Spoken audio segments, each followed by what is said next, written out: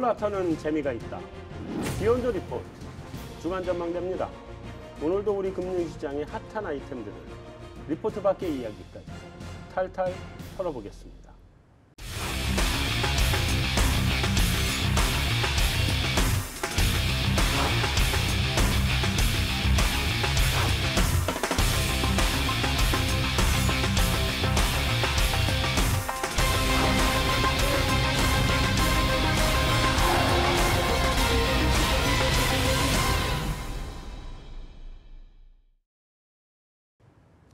안녕하세요. 네, 안녕하십니까. 정말 오래간만입니다. 네, 1년 만입니다. 소감 한마디. 예. 아, 어리둥절합니다. 1년 만에 왔더니만 어, 그 전에 내가 이걸 이걸 어떻게 했던가 하고 잘 기억도 안 나고 좀 음. 어리둥절한데 그래도 이 계신 분들 만나니까 너무 반갑습니다. 그 정도로 예. 저희도 반갑습니다. 반갑습니다. 네. 근데 뭐 그냥 계속 그 자리에 계셨던 것 같은 맞아요. 느낌이 들어요. 저는. 지난주에도 예. 같이 녹화하셨던 것 아, 같은. 그렇게 말씀하셔도 소용이 없습니다. 이제 그만 들어오세요. 뭐.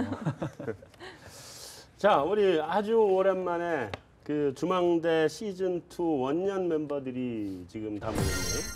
이게 완전히 그 응사 분위기로 응답하라 2014 분위기로 이게 계속 다시 나오면 안 되나? 진짜로? 아, 그거는 좀 어렵고요. 그건 어렵고 네. 알겠습니다. 내년 이맘때 또 한번 보시죠. 음. 알겠습니다. 그러면 우리가 이게 오늘 이게 송년 특집이니까 송년 특집마다 우리 전민구 박사를 모시는 걸로 음, 괜찮네요. 내년 송년 특집에도 나와주시는 겁니다. 네, 알겠습니다. 네, 좋습니다. 자, 한 가지가 뭐 또 있다며 우리 소식이. 하는 저격수가 이제 더 이상 저격수를 안 하기로 했다며. 설마 한국은행에서 무슨 특별 공로상을 탄 우리 박종현 연구원. 네. 더 이상 저격수를 하지 못하게 하려고 일부러 그러신 것 같아요. 상을 준 거 아닌가는 좀 약간 음모론적인 생각이 드는데 그래도 소감 한마디 해주세요. 예, 아니 뭐 그 한국은행이 연말에 한 번씩 이렇게 통화 정책과 관련된 커뮤니케이션에 도움을 주신 분들 이렇게 시상을 하는 게 있나 봐요. 그래서 한 160분 정도 돼요. 그 중에 제가 한 명인 거고요. 근데 어쨌든 이제 상을 받았으니까 하, 하는에 대한 저격은 조금 어려울 수도 네. 있겠지만 하여튼 저는 본연의 일단 역할을 받으셨으니까 뭐 예, 일단 그걸 받았으니까 그걸 노렸을 거예요. 이래도 저격할래 그러면서. 그러니까 계속 저격을 해야 계속 상을 줘요. 알겠습니다. 조금만 좀 예. 톤 다운 해달라. 이 정도로 저를 멈추게 할 수는 없습니다. 아, 알겠습니다. 네. 자, 우리가 오늘 이제 송년 특집입니다. 예, 올해 2015년을 결산하는 송년 특집이고 그래서 오늘은 2015년 시장의 이슈 키워드가 뭐였는지 좀 찾아보고 또 그게 2016년에 어떻게 연결이 될 것인지를 찾아보는 어, 전망해보는 그런 자리로 마련했습니다.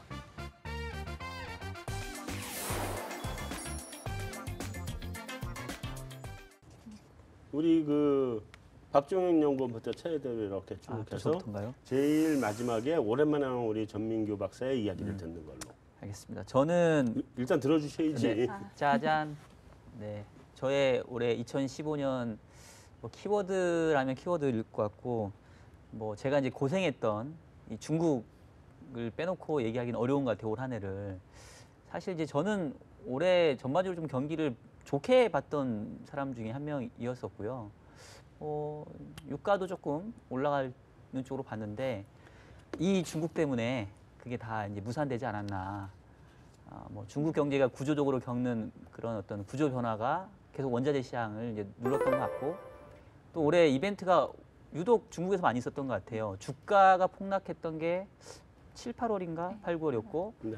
또 중국이 위안화를 또 급, 기습적으로 전격 절하한 것도 뭐 8월. 그래서 아마도 이 중국의 그 어떤 이벤트로 저뿐만 아니라 상당 부분 금융시장 참가자들이 올 한해 힘들었지 않았을까. 그래서 중국이라고 정해봤고요. 내년에는 좀 어, 사고 치지 않고 중국이 좀 긍정적인 변수가 됐으면 하는 그런 희망을 좀 얘기를 하고 싶습니다. 근데 그 닭뼈슬은 왜 그렸어? 그러니까 좀. 잘하라고 예. 잘하라고. 예. 음. 칭찬을 이렇게 좀 왕관으로 예. 닭뼈슬이 아니었구나. 아, 저는 까칠하다는 뜻으로 알았는데. 네, 다음 우리 전승지 연구원. 저는 저유가를 썼고요. 기억이 나는 게 작년 11월, 12월에 방송을 하는데 그때 박사님도 계시고 그랬었는데 그래서 과연 저유가가 우리 세계 경제에 긍정적이냐 음. 사실 그때까지만 해도 어쨌든 간에 저는 긍정적일 거라고 생각을 했었거든요. 근데 음. 정말 가격이 폭락하다 보니까 결국은 뭐 유럽이나 세계 각국이 금리를 내릴 수 있고 뭐 양적 완화 할 수 있는 것도 저유가 때문인 것 같고 음, 어, 결국 중국이 어려운 것도 결국 원자재 수출국들이 좀 다 같이 망가지면서 뭐 중국의 어려움이 좀 배가 된 것 같고 음. 그러니까, 그러니까 올해 저는 핵심은 좀 유가의 폭락, 음. 저유가 시대의 도래인 것 같아요. 자, 우리 마지막으로 예. 정민규 박사가 본 2015년. 키워드는 제가 보는 키워드는 접니다. 아, 저 이게 뭐 아, 박사님. 아, 미에 그런 미. 그런 뜻은 아니고요. 예. 아. 아, 바로 예. 한자가. 예. 한자로 이제 낮을 젖자인데요. 네.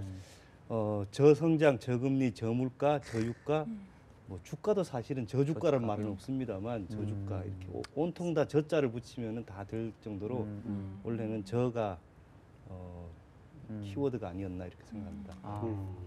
제가 이제 준비한 키워드 세 가지를 가지고 한번 올 한 해를 그 조망을 한번 해보면 좋을 것 같습니다. 첫 번째 하락입니다.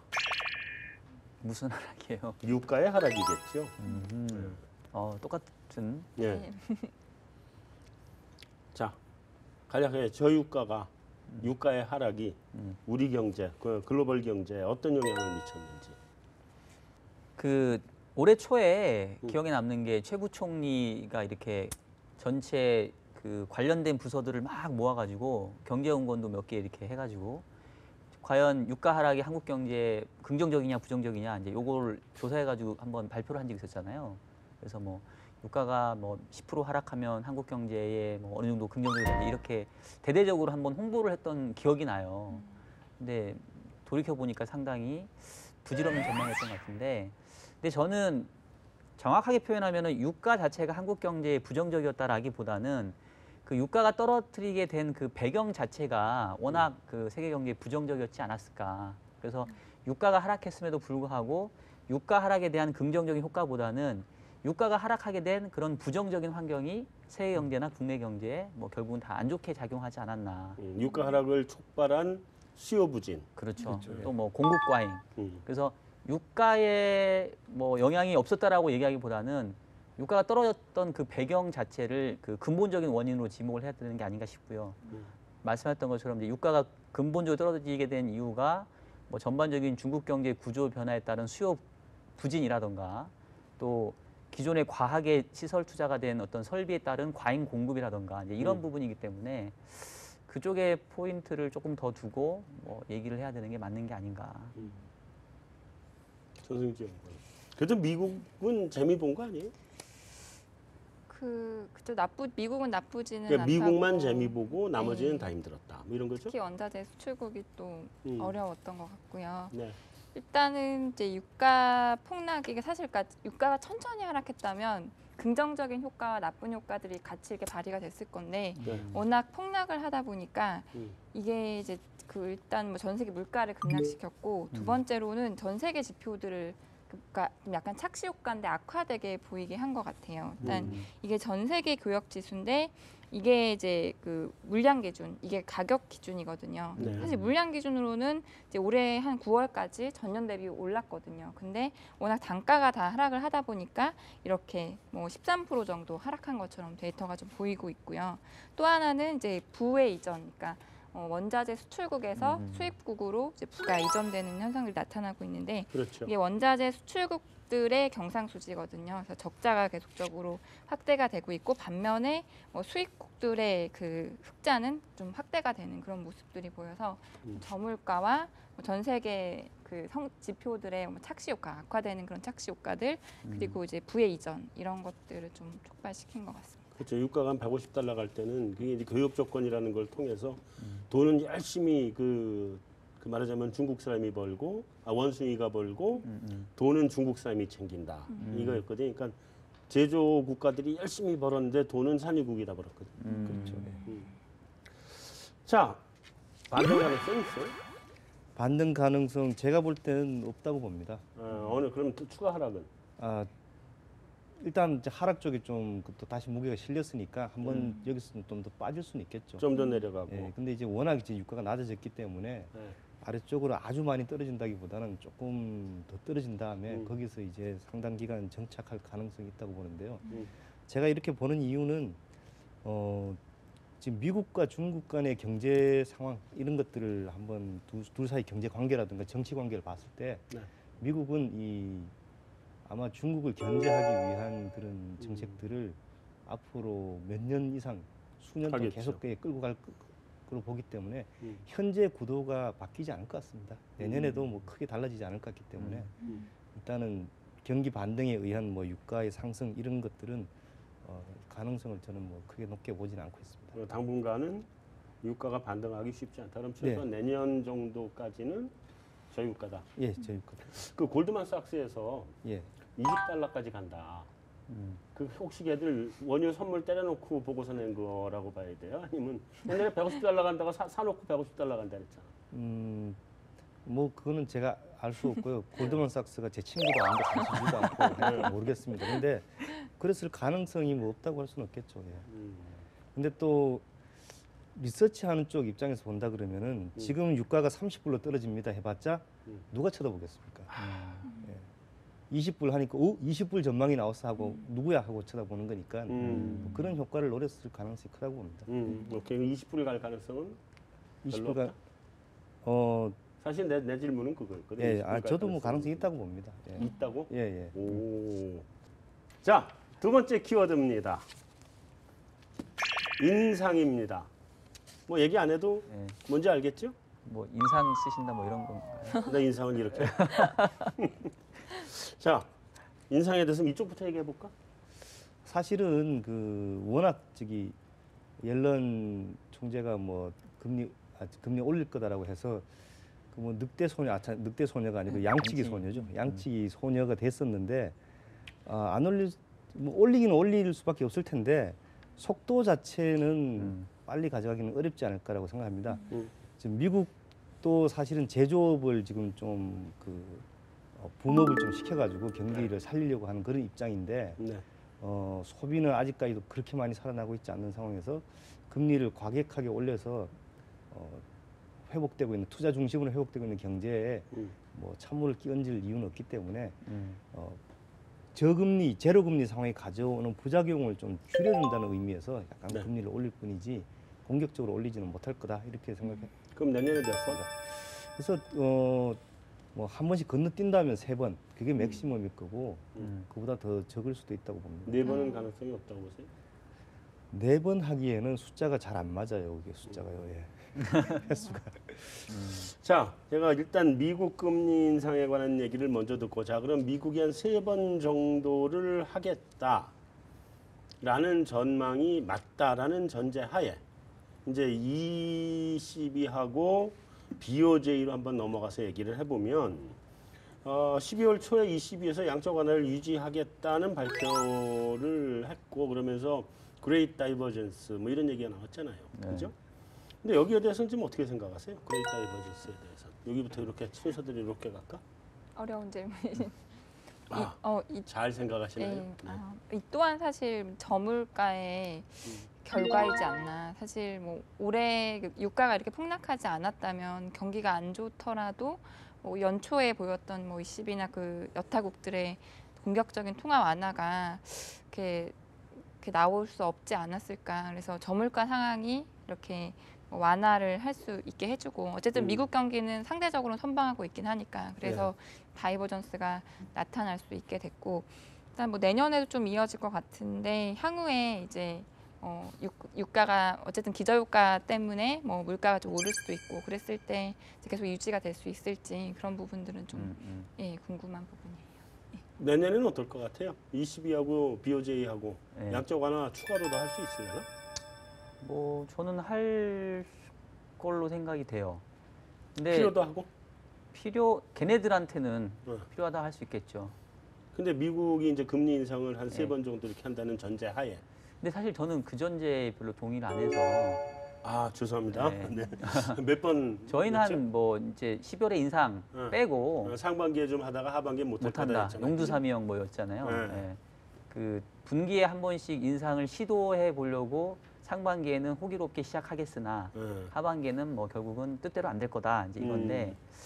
일단 great divergence라는 말 자체가 저는 좀 마음에 안 드는 게 그 우리 한때 뭐 great rotation 이런 거 있었잖아요. 그렇죠. 음, 계속 뭐, great야. 뭐 이런 얘기 써도 되나? 뭐 개뿔 great rotation 무슨 이게 이것도 약간 과장된 네. 것 같고 제가 보기에는 small divergence 정도. 음. 그러니까 결국은 그 주요 국 간의 통화 정책이 그렇게 엄청난 차별화를 보일 수는 없다라고 생각을 해요. 왜냐하면 서로가 서로에게 영향을 주기 때문에. 음. 그러니까 미국도 독자적인 금리 인사를 하게 되면 당연히 달러 강세 때문에 하고 싶어도 못 가게 될 거고. 어 그래서 하반기에 연준이 조금 금리 인상 속도나 쉬어가면 이제 그거에 기회를 봐서 일본이나 어, 유럽이 조금 더 완화를 하는 정도. 지금보다 완화를 조금 더 하는 정도. 네, 그래서 결국은 서로 눈치를 계속 보는 상황이기 때문에 뭐 완전히 뭐 great한 divergence라고 얘기하기보다는 뭐 결국은 50보 100보의 차이 정도로 봐야 되는 게 아니냐. 음. 미국도 하반기에는 결국은 금리 인상을 좀 중단하고 약간 쉬어가는 정도면 뭐 그거를 또 강하게 긴축이라고 얘기하기는 어려우니까. 그래서 저는 뭐 아, 완전 완전된 양극화된 통화 정책은 어렵다고 생각을 해요. 근데 사실은 12월 이제 그 한 번 하는 거 가지고 이미 그, 그 테이퍼 텐드럼 같은 게 조금씩 나타나고 있었잖아요 시장에 음, 음. 그러고 있었는데 그 시장에서 어쨌든 반응은 하기는 하는 것 같단 말이에요 금리 미국의 금리 인상에 대해서 그런 상황에서 다시 이제 일로 와서 여긴 두 번밖에 안 한다고 본 사람이기 예, 예. 때문에 세 번을 그냥 하고 간다는 전제하에 내년에 예. 할수 있어요? 아 금리 인상을요? BOJ나 아니 미국은 한 산다고 예, 예. 전제를 하고 예, BOJ나 ECB가 예. 할수 있겠냐고 야- 양적 어. 완화를 추가로 할 수는 있다고 봅니다. 이제 이, 이 나라들은 뭐 기축 통화에 버금가는 통화를 가진 나라들이기 때문에 네. 어, 만약에 꼭 필요하다고 자기네들이 판단한다면은 할 거는 같습니다. 그리고 미국이 금리를 올리는 상황에서 자기네들이 양적 완화를 한다면은 뭐 환율이라든가 이런 면에서 오히려 더 효과를 극대화시킬 수가 있기 때문에 음. 지금 일본 같은 경우에는 뭐 N을 저렇게 약세를 보냈는데도 아직 그 뚜렷하게 경기가 살아난다는 조짐이 없기 때문에 음. 어, 카드를 좀 더 쓸 가능성이 있다고 봐야 되겠죠. 근데 내년은 가만히 보면 미국하고 나머지 국가 간의 경기 차별화 완전 디커플링인 것 같아요. 그죠? 어, 지금 사실 그 금융위기 이후로는 제가 볼 때는 뭐 각자 도생의 길로 가는 것 같아요. 음. 그러니까 극단적으로 이렇게 움직였던 게 금융위기 이전에는 미국 같으면 이제 내수, 서비스업, 그 다음에 뭐, 어, 그 다음에 중국이나 우리나라 같으면 수출, 음. 어, 제조업 이런 쪽을 극단으로 갔었는데 이 서로 수렴을 해야 되는 상황인데 음. 그 수렴 속도가 굉장히 느린 거는 사실입니다. 그러니까. 근데 이제 diverge 하는 거니 divergence 하니 그래서. 예, 그 diverge 했던 게 이제 그 경제 구조 면에서는 converge를 하게 되는 거죠. 이제 지금 내년에? 지금 converge는 이미 시작됐는데요. 어. 어, 우리가 느끼기 힘들 정도로 좀 느리게 가고 있죠. 그래서 내년에도 그 converge가 계속 진행되면서 미국은 제조업을 계속 애, 그 자기네 경제에다 심으려고 하는 거고 음. 이쪽 아시아 쪽에서는 서비스업을 심으려고 하는 그런 움직임이 나오겠죠. 음. 좋아요. 어쨌든 예. 그래서 각자 도생이라고 얘기를 했으니까 예. 끝에 붙여서 한 마디만 더, 물- 더 물어보면 한국 통화정책도 각자 도생이에요? 내년에? 예, 우리도 각자 도생인데 사실은 우리는 그렇게 그 강대국이 아니기 때문에 통화 정책 면에서도 그게 아니기 때문에 네. 어 사실은 굉장히 조심을 해야 되는 상황이고요. 음. 그다음에 그거보다는 제가 볼 때는 그 어, 정부의 정책 기조 자체를 조금 바꿔야 될 필요가 있다고 봅니다. 어, 지금 발표했잖아요 이번에 최경환 부총리가 정책 기조를 발표한 거 아니에요, 그죠? 어 근데 제가 예, 성장률 목표도 실질이 아니라 경상으로 바꿔서 물가 파이팅을 음. 하겠다, 저물가 파이팅을 하겠다 이러고 나왔는데. 네 그런데 이제 사실 우리 정부가 지금 추구하는 바를 잘 새겨 보면은 어 기업들로 하여금 여전히 투자를 그 북돋우는 그런 정책들을 많이 이야기를 하고 있습니다. 네, 공급주의죠. 예, 음. 공급이 있으면은 다 그게 해고, 해결이 된다는 거고 음. 음. 사람을 일자리에 투입만 하면은 그 사람들이 소득이 생겨서 소비를 한다는 그런 생각인데 옛날 YS 때 예, 열심히 지금 하다가 예, 의원이기 같죠. 지금 상황에서 뭘 만들어도 안 팔리 안 팔리기 때문에 기업들이 투자를 안 하고 있는 건데 음. 과연 그 공급 쪽에 아, 음, 그런 일변도로 쪽에서 예. 공급 위주에서 수요 음. 중심으로 가야 된다. 예, 예. 총수요 관리로. 예, 예. 음. 그래요. 어쨌든 그러면 내년에 우리 정 한국은행은 추가적인 금리 인하는 하기 힘든 걸로 받아들여도 되는 건가요? 예, 예, 저는 뭐 어, 그렇게 보고 있습니다. 일단 겁을 내고 있는 상황인 것 같고요. 음. 자본 유출이라든가 뭐 음. 이제 원화가 이제 거덜나는 것에 대한 겁을 좀 내고 있는 상황이기 때문에 음. 굉장히 좀 내년에 조심하지 않을까 싶습니다. 왜냐면 기획재정부 쪽에서는 지금 아마 금리 인하를 추가로 더 하기를 원하는 것 같아서 이번에 정책 방향 나온 게 예, 그러니까 뭐 경상 GDP로 가겠다 뭐 이런 것들이 예, 그 디플레이션 파이팅을 해야 되겠다는 생각을 가지고 있는 것 같아서 사실은 좀 걱정을 했어요. 왜냐면 내 대출이 고정금리잖아. 뭐 마누라한테 한번 또 야단 맞나 걱정을 했는데 금리 인하 더 있다고 생각하세요? 아주 짧게 한 마디씩. 먼저. 있다고 생각하세요? 없다고 생각하세요? 없다고 생각하고요. 아까 말씀하셨듯이 정부가 약간 자본 유출 그런 부분에도 음. 대비를 하는 것 같고 최근에 보면 매도 개입을 계속 하고 있거든요. 그래서 그런 음. 것들 봤을 때 우려를 하고 있고 그렇기 때문에 인하를 하기는 좀 어려울 것 같아요. 그럼 네. 거긴 인상은 할 수 있을 것 같아요. 아니요 인상은 뭐 인상을 해야 되는데. 못해 인상 쓸 일도 없고요 네. 인상 못 하고요 어. 오히려 하반기에 인하 가능성이 좀 커지는 쪽으로 사실 저는 보고 있는데 음. 그 12월 16일 날 네. 그 한국은행이 3년에 한 번씩 발표하는 중기 물가 목표를 발표를 했는데요. 네. 그동안과 다른 게 이제 하나의 선으로 찍었다는 거. 우리 그동안 이제 range로 보고 있었거든요.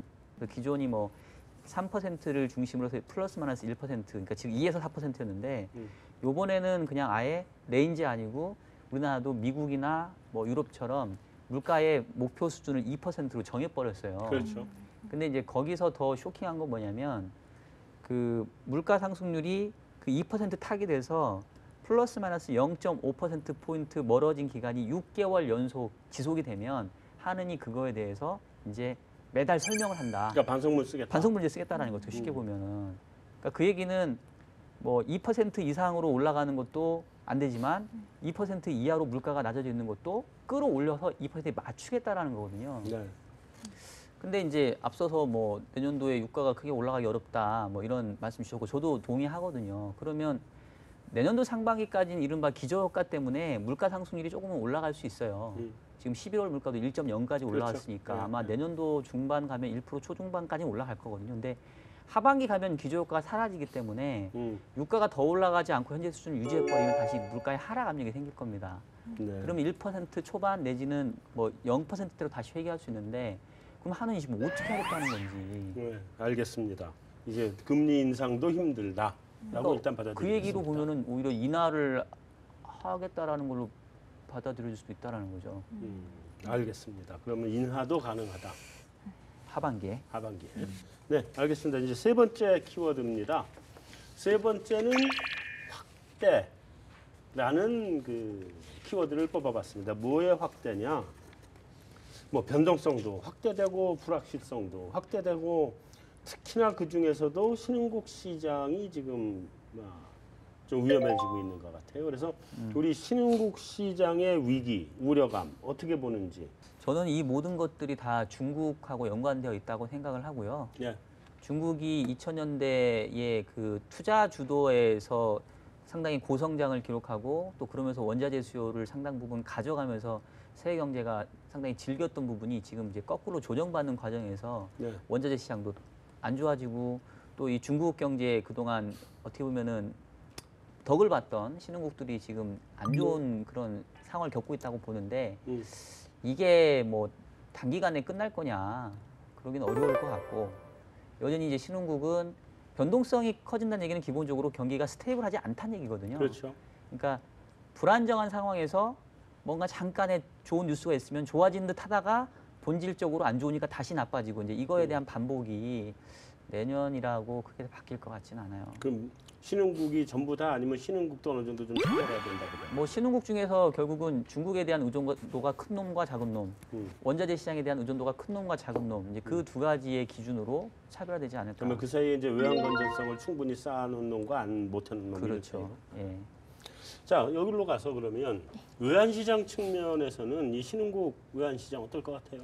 지금 신흥 통화들이 13년 버냉키 쇼크 이후에 13년, 14년 이제 올해까지 계속적으로 통화 가치가 하락을 했거든요. 그래서 뭐 말씀하셨듯이 신흥국이 빠르게 회복을 하기는 어려울 것 같은데 그리고 내년도 미국도 금리 올리고 어, 계속적으로 좀 경기 부진해서 약세 압력을 받을 것 같긴 한데 음. 이미 좀 가격에 많이 반영이 돼서 네. 좀 야- 추가적인 약세 폭은 좀 제한적일 수 있다고 생각이 되고 특히 그 러시아 루블이 작년에 폭락한 이후에 올해는 그래도 좀 선방을 했거든요. 뭐 네. 환율 적도 있고 네. 그래서 뭐 그런 효과들이 조금은 뭐 나타나지 않을까 일단 환율에는 그렇게 음, 생각을 하고 있습니다. 그 신흥국 외환 시장은 추가적인 폭락은 좀 예, 약세긴 약세인데 약세긴 약세지만 예, 없을 거다. 그러면 예. 변동성은 상대적으로 좀 줄어드는 모습이 될 수도 있겠네요. 근데 뭐, 뭐 유가에 따라서도 물가에 대한 기대가 달라지고 또 통화 정책에 대한 기대가 달라지고 막 그러는 과정에서 음. 변동성은 오히려 방향성은 약간 약해지는데 변동성은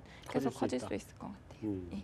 자, 근데 우리가 이 세 개 키워드 하락, 인상, 확대 이 세 개 키워드 가지고 짚어보진 못했는데 꼭 짚어야 되는 게 아까 얘기한 중국 경제란 말이에요. 그래서 중국 경제 얘기를 안 할 수가 없을 것 같아서 일단 우리 우리 종결자 음, 예. 종결자께서 중국 예. 경제 한번 정리를 깔끔하게 좀 해주시면 일단 연착륙 가능한 거예요 신창 타이가? 이참 깔끔하게 정리될 수 있는 나라면 저도 얼마나 좋겠습니까? 일단 숫자를 알 수 없으니까. 예, 예, 예. 근데 연착륙이 가능한 거예요? 아니면 경착륙 하는 거예요? 음, 저는 연착륙, 그 연착륙이 뭘 어디까지를 연착륙이라고 하느냐, 뭐 이거를 가지고 달라질 수 있겠습니다만, 저는 연착륙은 가능하다고 보고 있습니다. 음, 그 좀- 잠깐 그러면 연착륙이냐 경착륙이냐에 대한 정의를 내가 먼저 다시 하고 얘기를 하죠. 예, 지난번에 10월달에 사회과학원을 갔을 때 예, 예. 걔들하고 한참 얘기를 했더니 걔들이 이제 5% 이렇게 나- 내려가면 감당을 못할 거라고. 그래서 6%대의 성장률이 안착할 수 있느냐, 5%대까지 일시적으로 내려가는 그 충격이 없을 것이냐, 요거를 가지고 얘기해 보죠. 음, 그런 의미에서라면은 어, 5%대 성장률이 내년에는 간다고 보지는 않습니다만, 아, 내년까지는 예, 아니다. 뭐, 그 후년에도 5% 성장률을 면한다라고 보기는 어려울 것 같고요. 아, 후년에는 또 예, 예, 예. 음. 근데 이제 저는 견착, 경착륙, 연착륙에 대한 정, 제 나름대로 정의는 그러니까 어떤 위기 상황을 수반하는 그 경기 침체냐 아니면은 음, 단순히 저성장으로서 이제 조정을 겪고 넘어가느냐 네. 음, 음. 그걸 가지고 구분한다면은 저는 위기 상황을 겪으면서 가지는 않을 거라고 보는 연착륙을 할수 있을 예, 것 예, 같다. 그렇습니다. 음, 음. 어쨌든 다음 중국이 이제 우리 증시로 넘어가서 중국 증시가 좀, 좀 화랑으로 뭐 거의 5천을 육박하다가 꼬꾸라졌어요. 뭐 3천까지 갔었죠. 2천 갔었나? 2천 때? 2천 때는 안 내려갔네. 3천을 삼천- 삼천에서, 예. 예, 음, 살짝 3천까지 올라간 갔었죠. 예. 이게 뭐 그리고 지금 한 3,000원 5, 600? 뭐 이 정도죠. 음. 음, 그 정도인데 지수 상승의 모멘텀이 내년에 나올 수 있을까요? 저는 약간 역설적으로 음, 어 저도 중국 경제는 기본적으로 둔화를 보거든요. 네. 이유는 투자 주도에서 소비 주도도 지금 넘어가려 하는데 음. 투자가 둔화되는 속도보다 소비가 올라오는 속도가 더디기 때문에 간극 때문에 성장률은 떨어질 수밖에 없다고 봐요. 음.